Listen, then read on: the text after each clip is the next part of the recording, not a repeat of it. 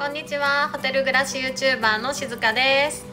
えっと今日は友達とちょっと海に潜りに行ってたんですけどさっき帰ってきて今お風呂上がりなんですけどあの動画の編集が間に合わなくて今お部屋で撮っています。はい。なんか海の中のあの映像も撮れたのでちょっと編集してまたあのその素潜りした様子とかも動画上げていきたいなって思ってます。ちょっと今日はあれなんですけどはい。今日はこんな感じで終わりたいと思います。今日も見てくれてありがとうございます。また明日も見てね。バイバーイ。